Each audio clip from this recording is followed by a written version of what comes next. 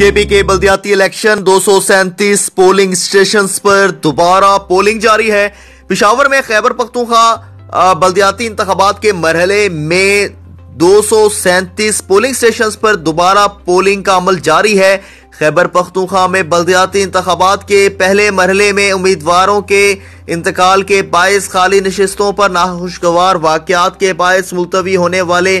Polling station पर दोबारा polling का अमल जारी है। बारह अजला पिशावर, नौशहरा, खैबर और मेहमद, मरदान कोहाट करक बन्नू और लकी मरवत, डी आई खान और बुनेर और बाजोड़ के दो सौ सैंतीस पोलिंग स्टेशन पर कुल तीन लाख इकतीस हज़ार एक सौ पचास जो वोटर्स हैं, वो अपना हक राय दही जो है वो इस्तेमाल कर रहे हैं और अपने नुमाइंदों का इंतखब जो है वो कर रहे हैं। और पिशावर में सात पोलिंग स्टेशन नौशहरा में दो खैबर में उनतालीस और मेहमद में तीन, मरदान में तीन, कोहाट में पचपन, किरिक में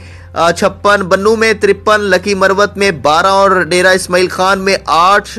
बुनेर में दो और बाजोड़ में तेरह पोलिंग स्टेशन पर जो है वो पोलिंग का अमल जो है वो जारी है और जिन हलकों में उम्मीदवार के इंतकाल के बाद सिलेक्शन नहीं हो सके, वहाँ इनमें चार सत्ता मरदान कोहाड़ लकी मरवत और डेला इस्माइल खान और बाजोड़ के मुजमई तौर पर तीन सौ इकतीस पोलिंग स्टेशन जो है वो बनाए गए हैं। चार सदा में दो मरदान में पाँच और कोहाट में पाँच लकी मरवत में दस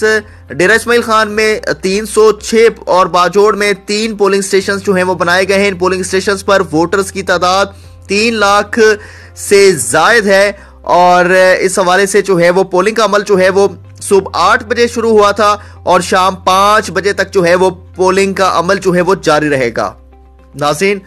मजीद जानने के लिए हमारे चैनल को सब्सक्राइब करें, बेल आइकन पर क्लिक करें ताकि वाली हर लेटेस्ट न्यूज़, ब्रेकिंग न्यूज़ आपको मौसू हो सके।